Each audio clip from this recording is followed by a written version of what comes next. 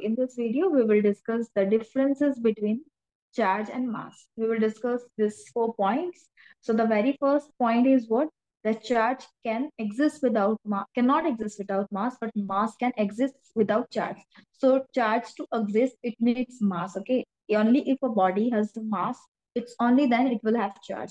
But mass can exist without charge. It is not necessary that if a body is not having charge, then it won't have mass. It might have mass even though there is no charge. Okay.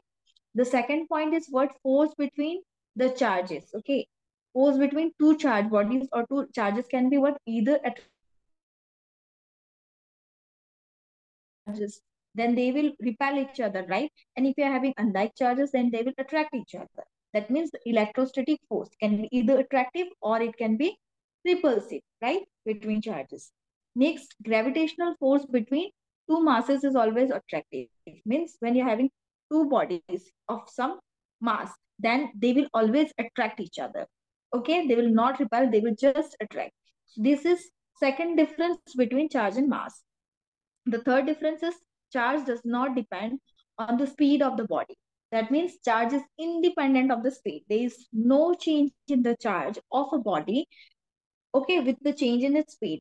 But mass is what mass of a body changes with the speed. And this is valid using the formula of relativistic mass. I guess you all know it is m, okay? m is equals to m naught by root over 1 minus v square by c square. Actually, it is uh, gamma m naught d square. Gamma is equals to 1 by root over 1 minus v square by c square. So this is the rest mass, this is the relativistic mass. So for any body, if you are having the speed to be very, very greatest, before you used to take what? V is equals, uh, V is what? We are taking that, uh, this V, this is the speed of the body, okay? It is very, very less than the speed of the light. Then you are getting M is equals to M naught. The relativistic mass is equals to rest mass. But now if this is having some value, this entire denominator will have some value and you will get M naught is equals to some value into it M. Okay, that is the rest mass is what? Increasing, right? That means mass of a body is changing with the speed. Okay, so from this formula, you can put on the statement. So I'm writing it here, okay? Uh, by this formula, m is equals to m naught by root over 1 minus v square by c square. Clear? So what is the fourth point? Fourth point is that charge can be either positive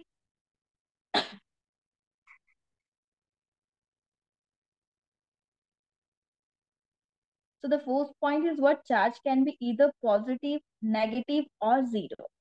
Okay, we know that a body can have either positive charge, it can have negative charge or it can have zero charge.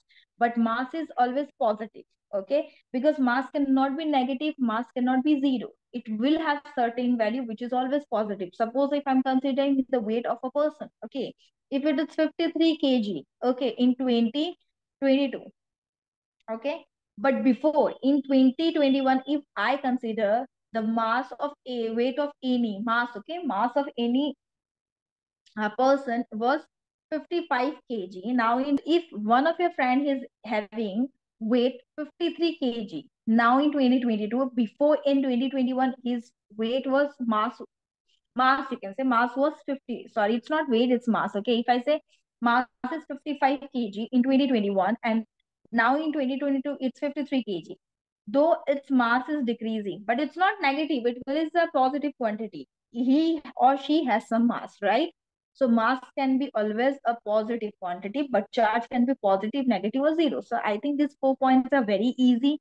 You can remember it. And whenever you ask that give two to three differences or a few differences on charge and mass, so you can mention these points. Okay. Thank you so much. Have a good day.